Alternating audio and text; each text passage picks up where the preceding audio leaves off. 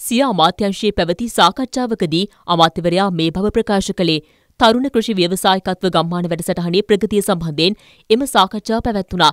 මෙම ව්‍යවසායකත්ව ගම්මාන එකසිය හැටක් සංවර්ධනය කිරීමට කටයුතු යොදා තිබෙනවා. ඒ සඳහා රුපියල් මිලියන එක්දහස් අයිසියක් වෙන් කර ඇති බවද අමරවීර මහතා මෙහිදී පැවසුවා.